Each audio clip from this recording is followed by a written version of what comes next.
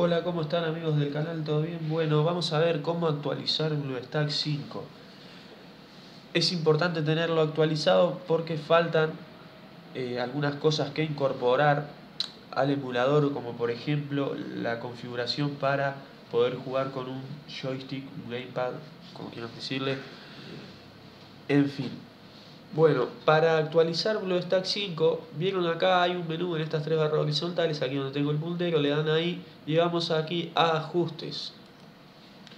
Entonces aquí en ajustes vamos a ir acá en el menú de la izquierda a donde dice acerca de, aquí. Le damos ahí en acerca de y buscamos actualizaciones.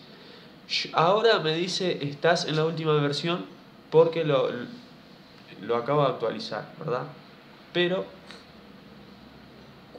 cuando usted, ustedes le den buscar actualizaciones, acá le va a salir descargar actualizaciones, botón azul que dice descargar actualizaciones, le van a dar ahí, se va a abrir el navegador que tengan predeterminado y lo van a ver en descargas, vieron acá ya se descargó, le di, lo se instaló, se abrió BlueStacks, se descargó la actualización y se instaló normalmente como cualquier programa.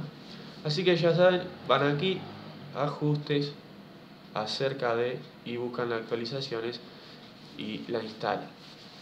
Bueno, es eso nada más. Eh, si te sirvió, dejas el like, esa suscripción, suscríbete como forma para apoyar.